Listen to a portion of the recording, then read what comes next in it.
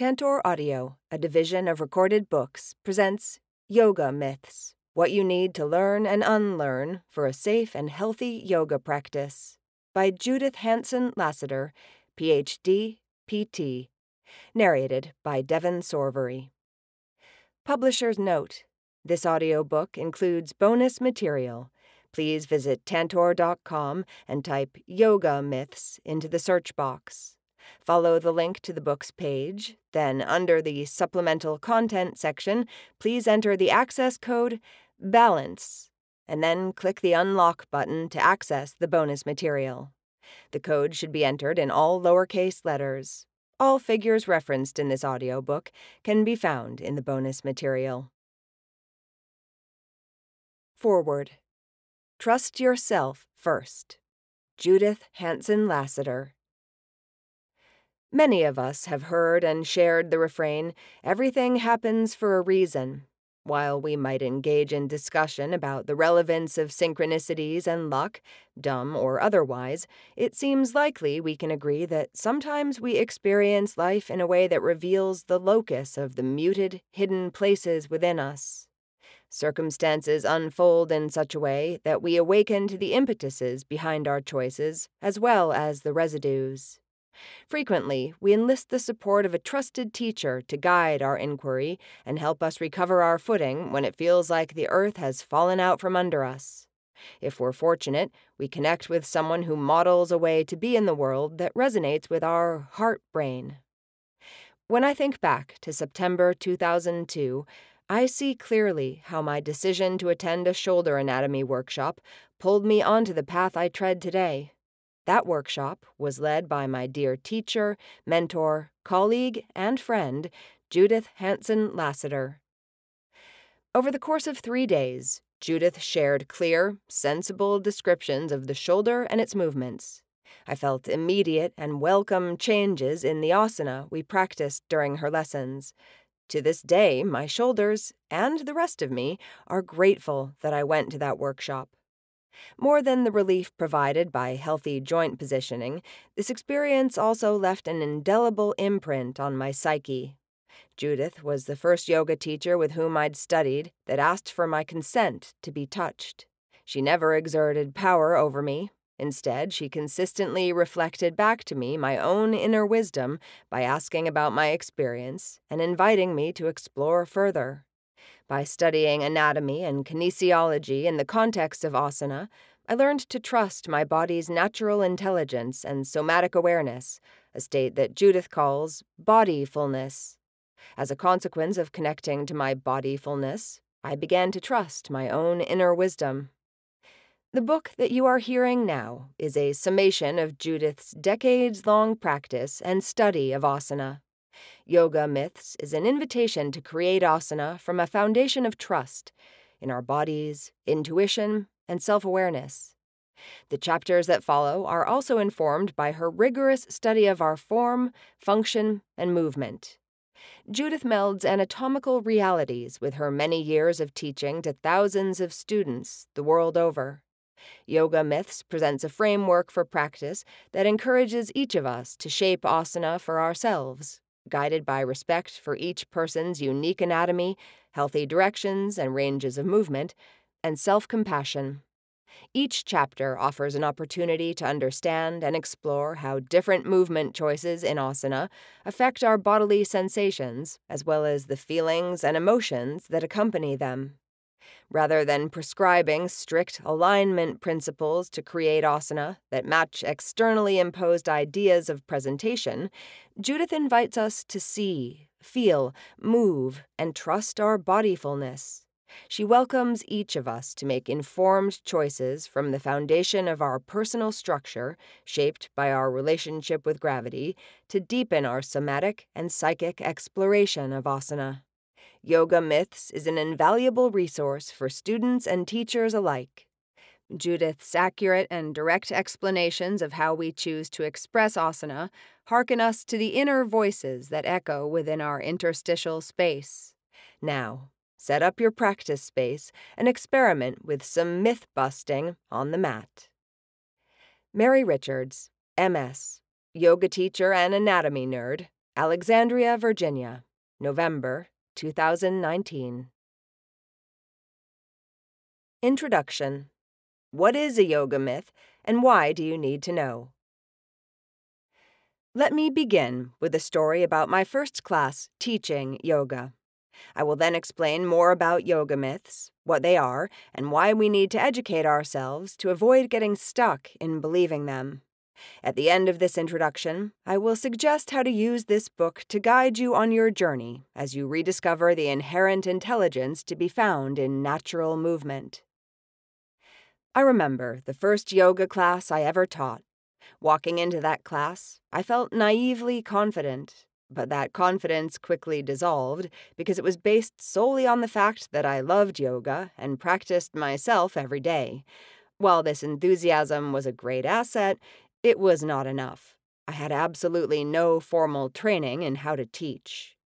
This lack of training soon became apparent to me and inspired me to attend physical therapy school and to study for a PhD in East West psychology.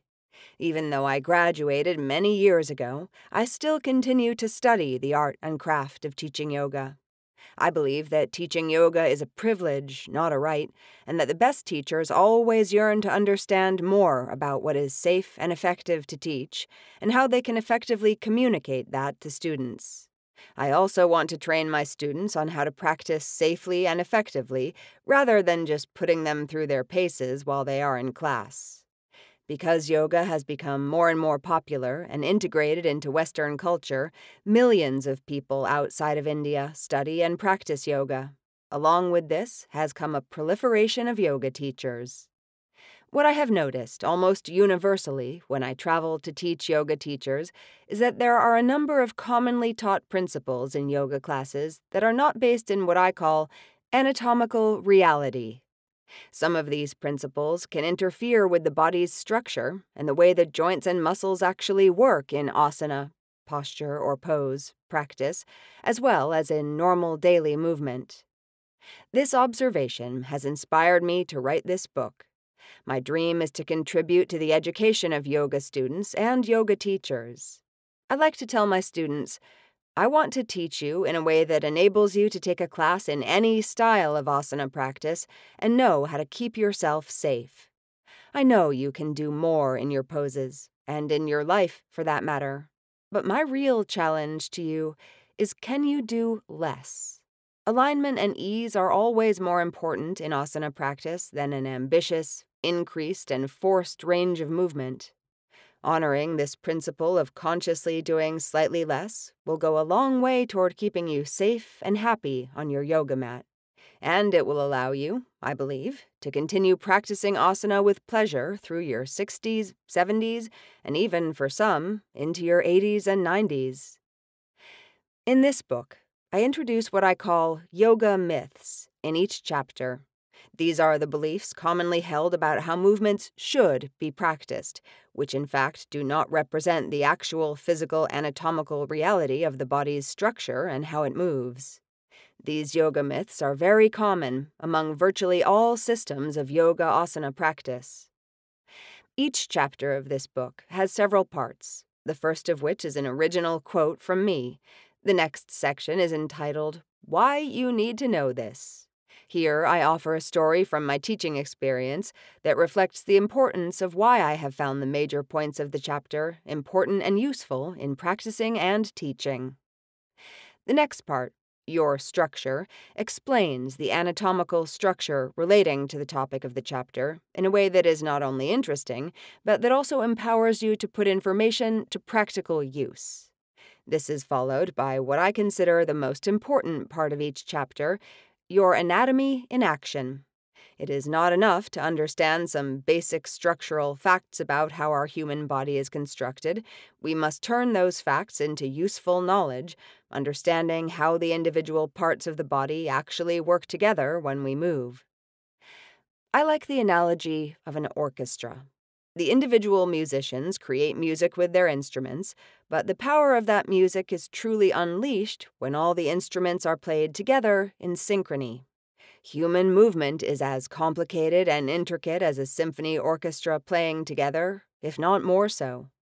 Each part of our structure works together to allow us to do a wide variety of things to stand, to walk, to practice asana, to balance on our hands, to lie down and rest, and so on.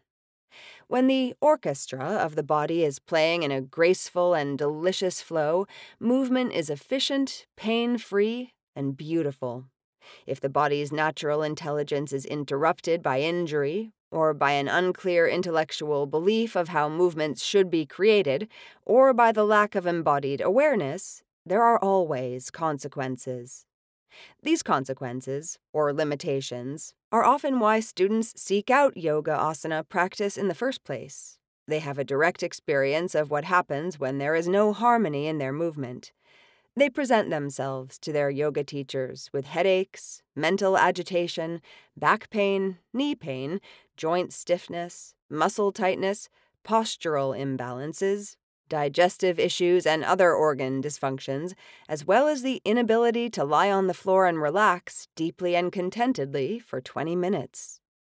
What we, as both yoga students and teachers, need to learn is what I call movement literacy.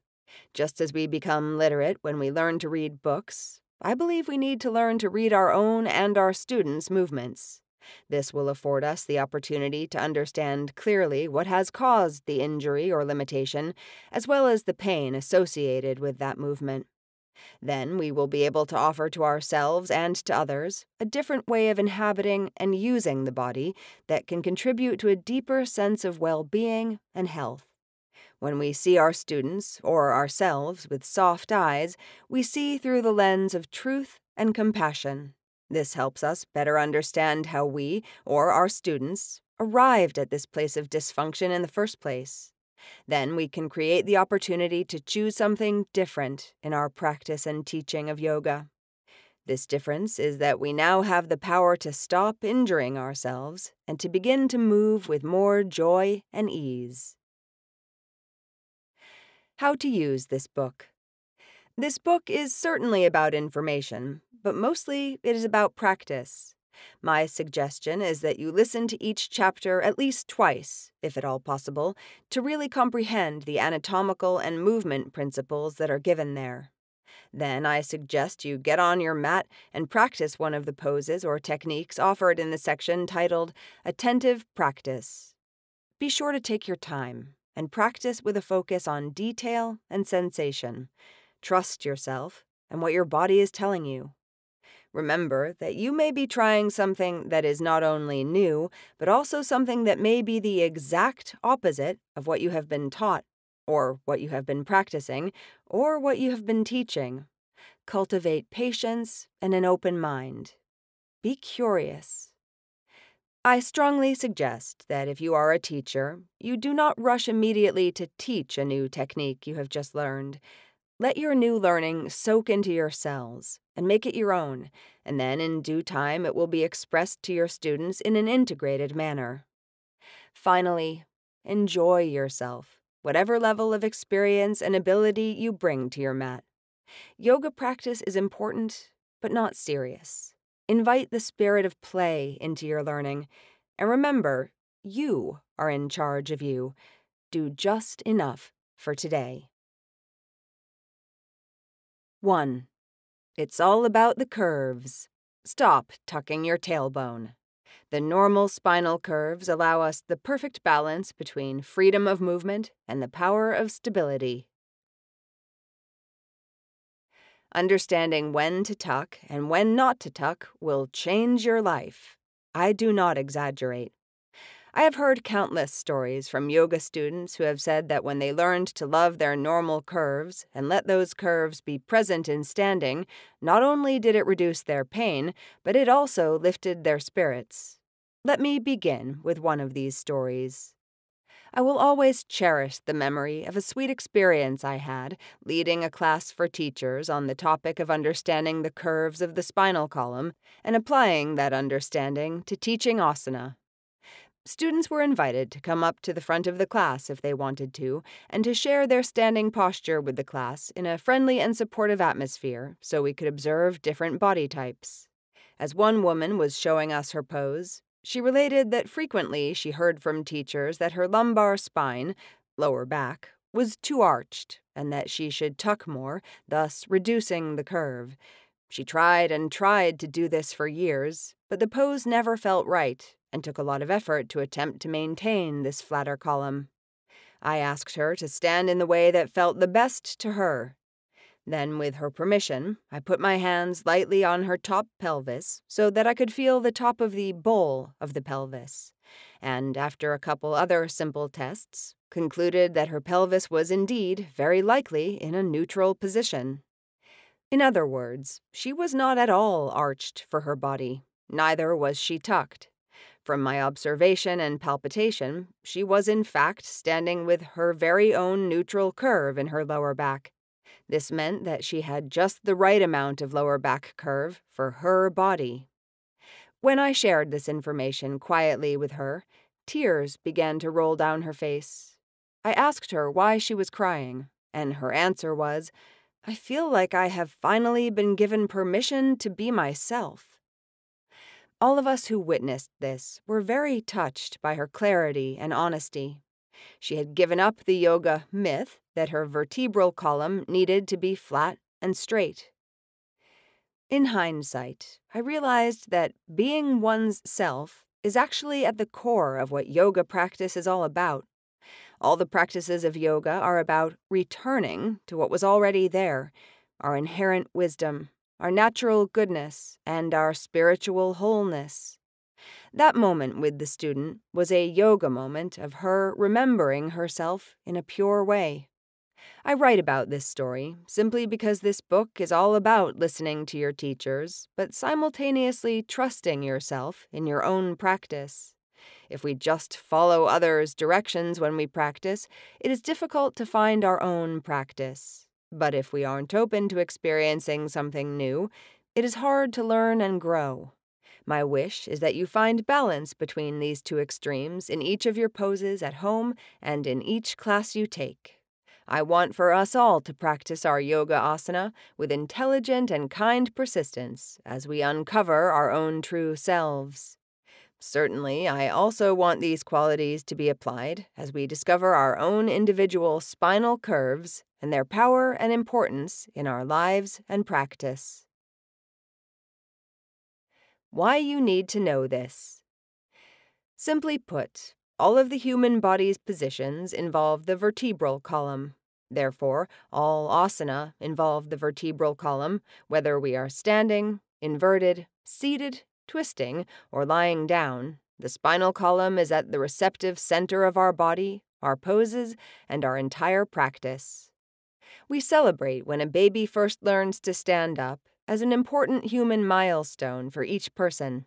Interestingly, in asana class, we often begin our practice standing in a vertical line. This asana is named mountain pose, or Tadasana in Sanskrit and it helps us to bring awareness to the very same vertical line we claimed in babyhood. Human beings stand up on two feet, and we need to do it well because poor posture can affect every system in the body, including the immune system, the respiratory system, the cardiovascular system, and the digestive system, as well as the health of our bones, the function of our muscles and our metabolism, and other normal functions. Posture reflects and can greatly influence our mood, how others see and judge us, and simply how we feel about ourselves and about being alive. Modern society has by and large changed the way we use our bodies on a daily basis, in large part by shifting us toward much more sitting time and much less walking and moving around time, in which we are constantly assuming different positions. One of the consequences of this shift toward less movement is an increase in the incidence of repetitive strain injuries. These types of injuries happen when we do the same movement over and over, like sitting and typing at a computer. However, society has not significantly changed our basic human structure and how that structure functions. If we are to stay safe and happy on our yoga mat and to enjoy our practice of yoga for all the years of our life, Respect for and understanding of the function and structure of the vertebral column is crucial. This idea is based on the premise that true freedom comes from self awareness and self knowledge. And those principles are not just philosophical or spiritual precepts. I believe they are imbued in the body as well, and that we can feel them, understand them, and adapt to them. But first, we must understand our structure and how it works. Your structure. One of the most remarkable things about the vertebral column is its ability to adapt to a wide variety of human postures and movements, and this is in large part due to the fact that the column is shaped into three specific curves, with the sacrum at the base that is fused into a single permanent curve and joined with the pelvis. The first curve is the cervical curve, neck, and is made up of seven vertebrae named from the top to the bottom, C1 to C7.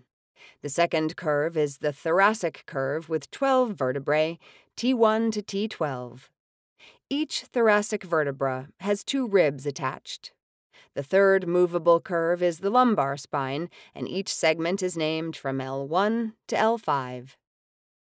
The last part of the column, and the part of the spine that joins with the pelvis, is the sacrum. It fully fuses into a solid curved bone at about the age of 25. Note that the cervical and lumbar curves are facing the same way, which is the opposite of how the thoracic and sacral curves face. So I like to think of the curves of the vertebral column like the curves of a river moving across a plain. Between most of the vertebrae are intervertebral discs. These are a form of connective tissue and serve the purposes of bearing weight and cushioning and protecting the vertebral bodies, as well as keeping the bodies apart and thus creating space between them and contributing to a full range of movement at each segment. The discs, which are connected to the vertebral bodies, have a softer center, the nucleus pulposus, which is surrounded by fibrous rings.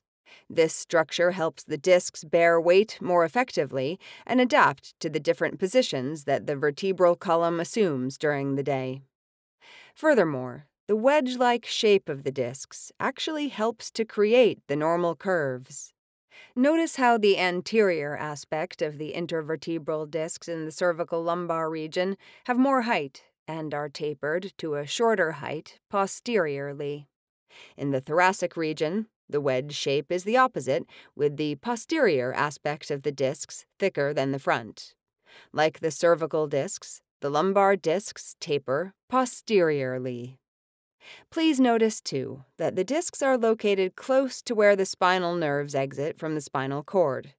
If your discs bulge or move out of place, they can press on these nerves and cause radiating nerve pain in your body, which can be debilitating. Remember that the curves we are discussing here are considered normal vertebral curves.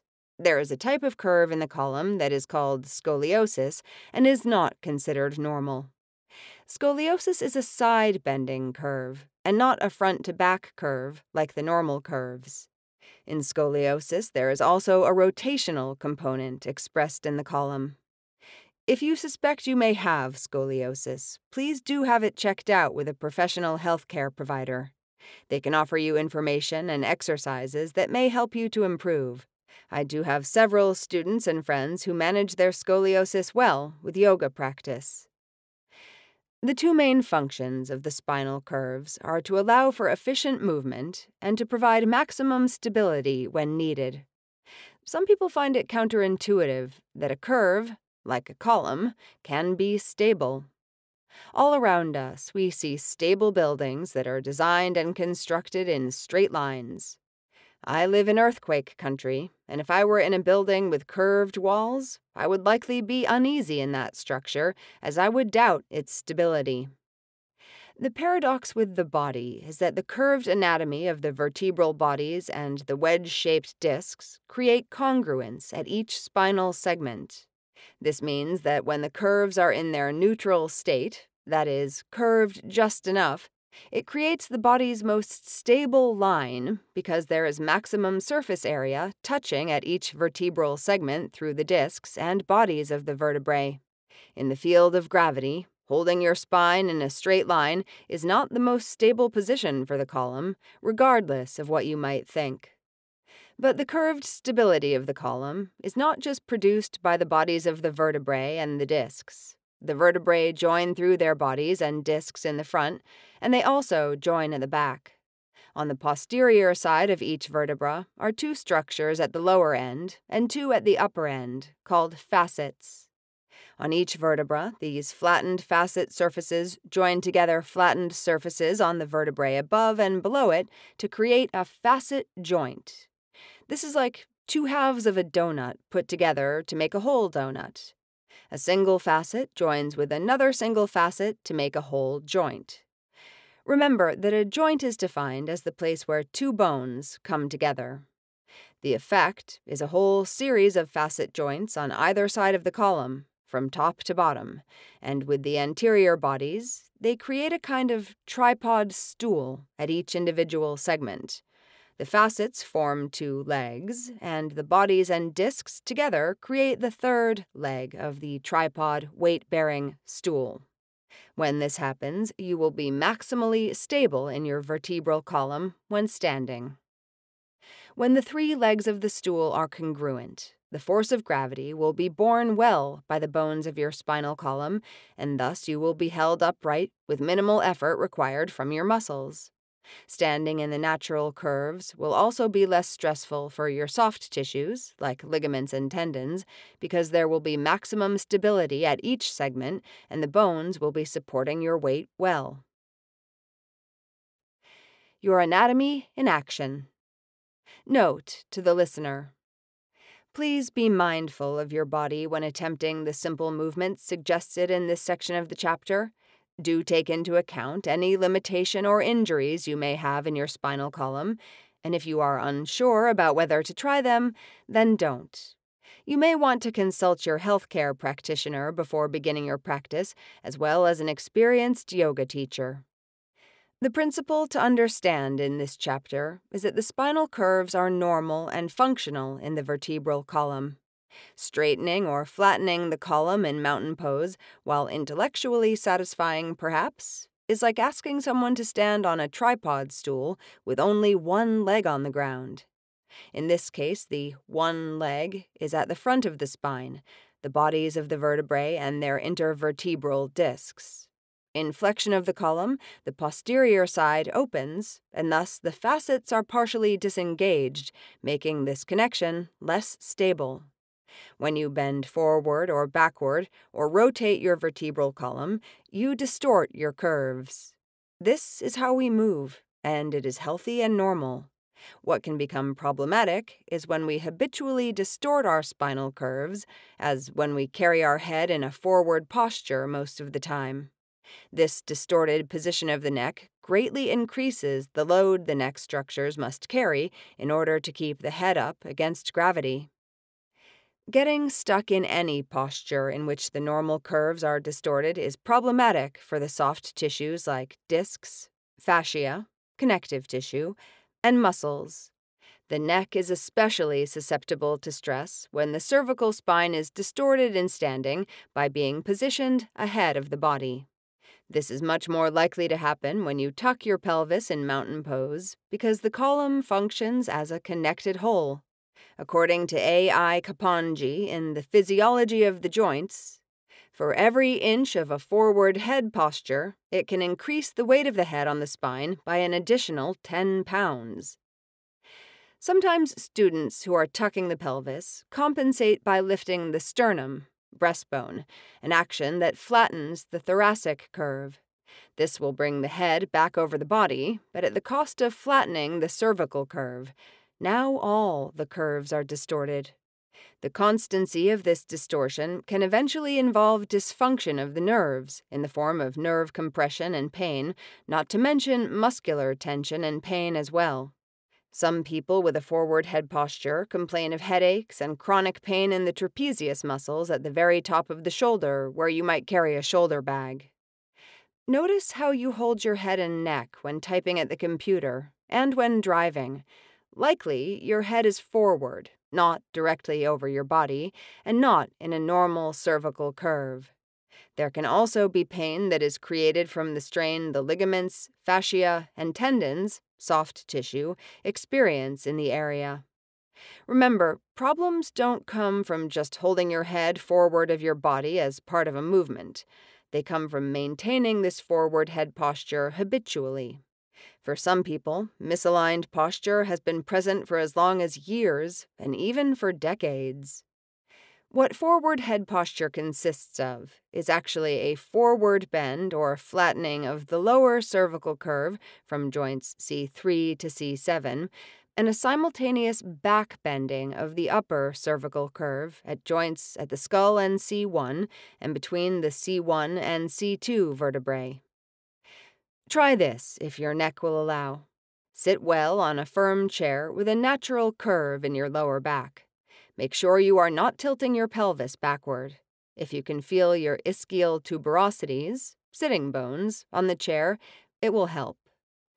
You should be sitting slightly forward of the sitting bones. If you feel your weight behind your sitting bones and more on the soft tissue of the buttocks, you are very likely in flexion and not in a normal lumbar curve.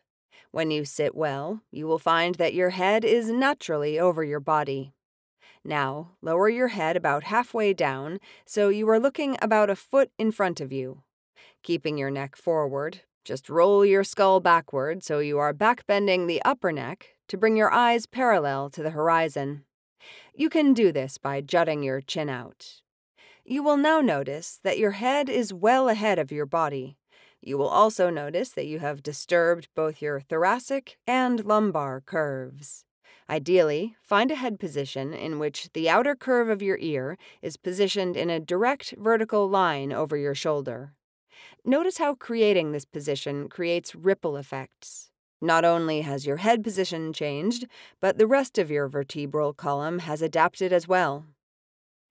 Distorting the lumbar curve by tucking the tailbone in standing is just as problematic for the lumbosacral spine as the forward head posture is for the neck.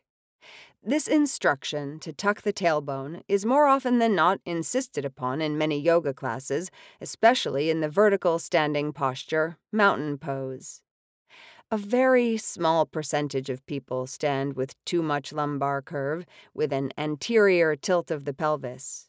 But in the many decades of teaching on six continents, I have found it to be overwhelmingly true that in Western countries, although not exclusively so, modern culture tends toward a tucked pelvis due to the prevalence of sitting.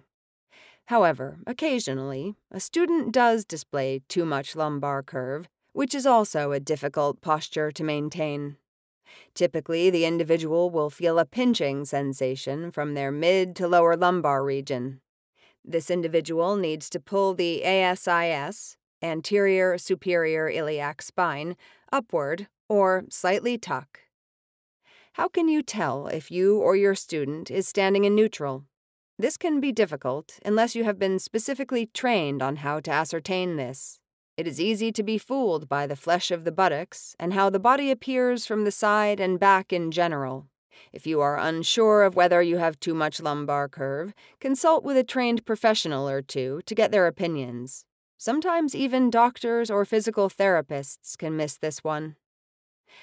Sometimes you hear yoga teachers say, drop the sacrum or lengthen the tailbone, coccyx. This is what I call sneaky tucking. If you pay attention, attempting to follow either of these instructions, or similar ones, can only happen when you flex or flatten your lumbar spine. When you do this, you not only destabilize your lumbar spine, but very significantly, you destabilize the joint between your sacrum and your ilia, the pair of large bones of the pelvis. With the normal curves intact, the sacrum at rest is at about a 30 degree angle from the vertical. Let me reiterate. This average 30 degree angle is the normal angle for the sacrum at rest. The sacrum is not a vertical bone in neutral spine alignment. If your sacrum, or your student's sacrum, is vertical in mountain pose, the likelihood is high that the student is tucking. Do not be fooled by the apparent angle of the sacrum or the shape of the buttocks. A vertical sacrum is no longer fully congruent with the ilium and is less stable. Thus, tucking the tailbone does not create a more stable spine, it creates a less stable one. And since most of us sit too much anyway, we do not need to tuck our tailbones in yoga class as well. We need to come back to our natural physical intelligence of standing with normal curves. There are other disadvantages to standing and sitting in a tucked or flexed position. When you tuck your tailbone in mountain pose, the incumbent weight of the trunk falls on the front leg of the tripod, that is, the body of the vertebrae, thus compressing the intervertebral discs, especially in the lumbar spine. The front of your body shortens. Not only is this especially problematic for those who already have compromised discs, but it can also contribute to poor disc health in everyone. When the discs are compressed, the bodies of the vertebrae are closer together and push the discs out in a posterolateral direction. This compression is not a problem for short periods of time, but when this process happens for long periods, like sitting for hours daily over years of your life, the discs can be permanently affected, and they can move in a posterolateral direction to press on the spinal nerves as they exit the column, causing radiating pain, muscle spasms, and potential muscle weakness. Not only are the discs seriously impacted by consistent tucking, when we tuck our pelvis, we also affect the deep pelvic organs. With a normal curve, the downward weight of the viscera in the pelvis falls naturally backward slightly against the bodies of L4 and L5 vertebrae, therefore helping to hold these vertebrae in place. Tucking the tailbone and flattening the lower back interferes with this process. Additionally, when we stand with a flat lower back, this organ weight now falls directly down onto the pelvic floor. This can weaken the pelvic floor muscles. The downward force of the organs in a direct vertical line now also puts weight on the bladder and the uterus, or prostate. It has been suggested that this constant distortion of the cells of these organs could affect the integrity of the cell membrane, and thus the function of these cells could be altered.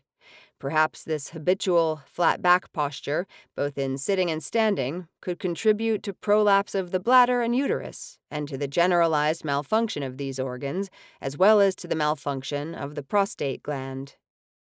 Tucking does not just affect the organs, the neck, and the lower back in isolation. All of this goes together. The vertebral column has something called sympathetic curves. Because the cervical spine and the lumbar spine have curves that face the same way, they move in harmony. Try this. Sit or stand with your normal curves. Now look up at the ceiling. Notice that your neck is back bending, but so is your lower back. Try it the other way. Forward bend slightly from the lower back, and you will notice the tendency of the neck to bend forward as well. This is the sympathetic action of the curves. They move in the same way. So, tucking your tailbone flattens your neck. Backbending your lumbar spine also backbends your neck. Regardless of which part of your column you bend forward first, the other parts will follow the cervical and lumbar spine dance together. Another reason to stop tucking your tailbone. It might just save your neck as well. Main points to remember from this chapter. The spinal column is most stable in standing and sitting when all the natural curves are intact. Stop tucking your tailbones. Moving any part of your spine affects all its other parts. Attentive practice. Now it is time to integrate all that you have learned into your yoga practice. Listen to the cautions and all instructions carefully as you begin. Cautions There are minimal cautions for practicing the poses in this section. However, be sure you are moving slowly in cat cow and coordinating those movements with your breath. This will feel good and keep you in touch with what you are doing. Staying with your breath helps you prevent injury in all of the poses. Props needed non slip yoga mat, sturdy chair, folded yoga blanket, preferably made of cotton, a doorway. Mountain Pose, Tadasana. To practice mountain pose, unroll your yoga mat on a flat surface. Experiment first with the distance of your feet. Place your feet completely together. Notice that you may feel a little less stable and that you are likely swaying a bit. The energy in your body seems to be moving upward it may feel difficult to be aware of the balance of your natural downward energy with the feet too close together. Place your feet purposely too wide apart. Now it may feel like your energy and awareness can go downward easily, and you may feel connected with the earth, but it is harder to feel the upward energy. I suggest you place your feet hip width apart so your feet are directly under your hip joints. Notice again the model in Figure 1.4 included in the bonus PDF for this audiobook.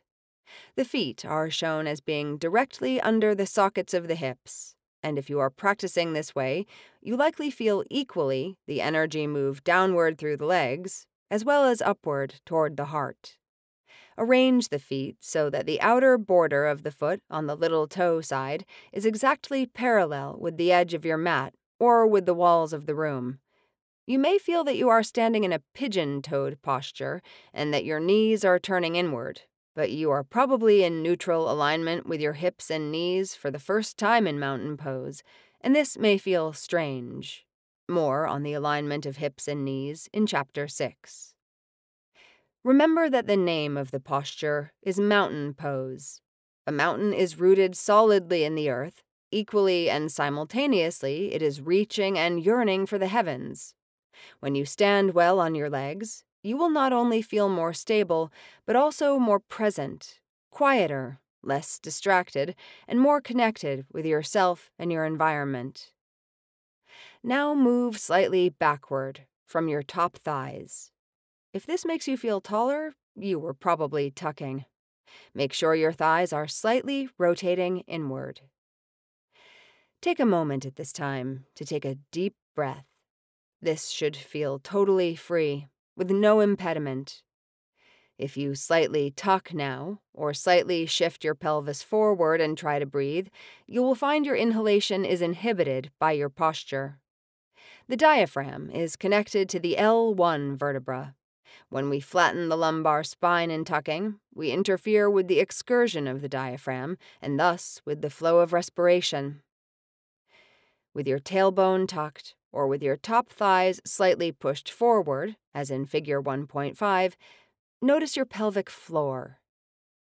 The pelvic floor muscles run from the pubic bone to the coccyx and between the ischial tuberosities. This is the floor of your pelvis. You will likely feel that these muscles are sagging. It feels like the coccyx is pushing forward, and the back half of the pelvic floor muscles are collapsing forward. Now bring your top thighs backward and notice that the pelvic floor now has its natural space and has spontaneously lifted upward, giving support to the pelvic organs. There is a sense that the pelvic floor is not inhibited, and thus it will assume its most effective shape. I believe this spontaneous upward movement of the pelvic floor is what is called in yoga mula bandha, or the root lock. I do not believe that Mula Bandha is something that has to be practiced with a clinching effort. Rather, it is spontaneously created from the alignment of the legs, pelvis, and vertebral column. Mula Bandha is a technique for preventing the loss of energy from the bottom of the trunk, keeping it in the body in order for it to be used for a spiritual purpose. One of the reasons we are told to tuck the tailbone is that many people believe that it strengthens the core, the abdominal muscles. This is actually not what happens at all. When you tuck and move the thighs forward, the abdominals actually do less, not more.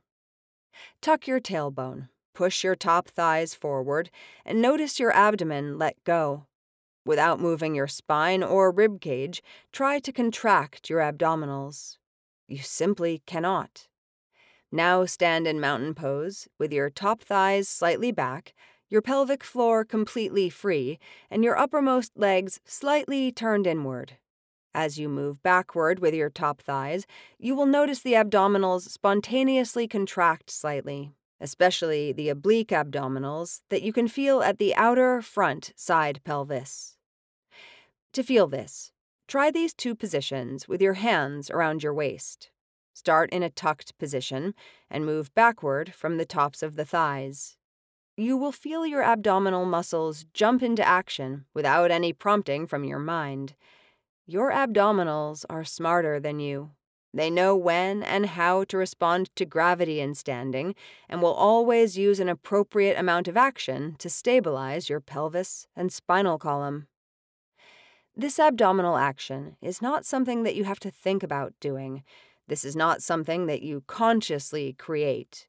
Rather, this is the natural intelligence of your body responding to perfect alignment with gravity. When we tuck, we are instead standing in a way that fights gravity.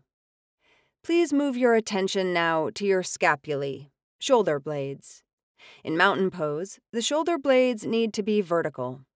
Notice that when you slump or tuck, your shoulder blades are resting against your back in an angle.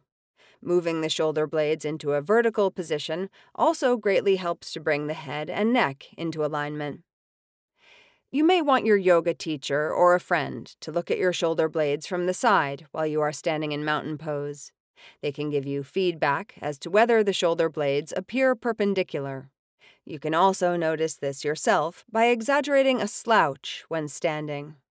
Feel how your shoulder blades move toward the side of your trunk and are no longer vertical. Be sure you do not overcompensate by pushing the bottom or inferior angle of your shoulder blades forward too much. The sternum in mountain pose is also at an angle. The lowest part of the breastbone is farther away from the trunk than the upper breastbone. If we tuck the pelvis, the sternum becomes vertical and breathing is impeded. Let your arms hang naturally at your sides. With a natural alignment, the head and neck should now be poised perfectly over your body. If someone looks at you from the side, your ear opening, that is, the external auditory meatus, will be exactly in line with the middle of the head of the humerus, upper arm bone, at the top of the side shoulder. If this imaginary line continues downward, it will pass exactly through the middle of your side hip and anterior to the midline of the side knee and the lateral malleolus, outer ankle bone. To complete the pose, slightly drop your chin so that your eyes are parallel to the horizon. Then turn your eyes slightly down themselves so they rest softly on the lower eyelids. Bring your attention to your heart in the left center of your chest. Imagine the front heart opening, but do not actually move your rib cage.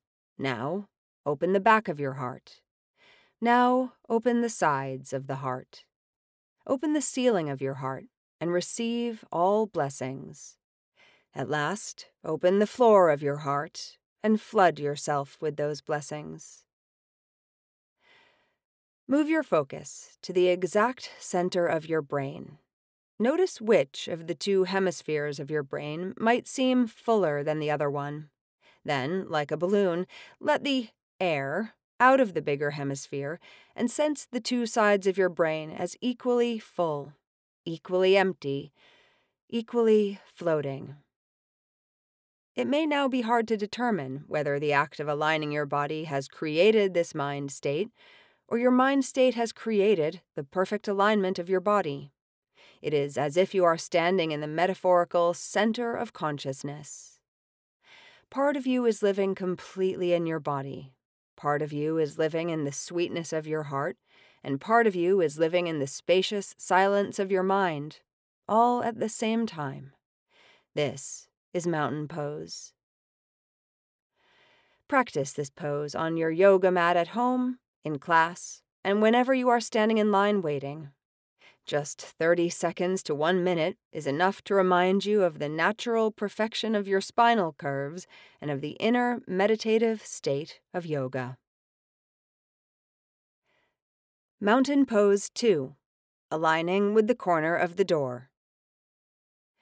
Whenever you remember it in your day, practice mountain pose in the corner of a door. Find a doorway and turn your back to one of the corners. Place your feet as we did in mountain pose, with the outside borders of your feet parallel to the edge of your imaginary mat. Place your coccyx bone, your mid thoracic spine, and the back of your head against the slightly sharp edge of the door. You may have to experiment with the distance your heels are from the door. It depends on your body shape, and especially the depth of your rib cage and the size of your buttocks. Make sure that your chin is exactly parallel to the floor. Most people have a tendency to lift the chin in this situation. Perhaps a friend or teacher could give you feedback on your head position. Stand here for a few breaths. Repeat this throughout the day to remind you of mountain pose. Mountain Pose 3 While Sitting Well. Since we sit so much. We hope you enjoyed this preview. To continue listening to this audiobook on Google Play Books, use the link in the video description.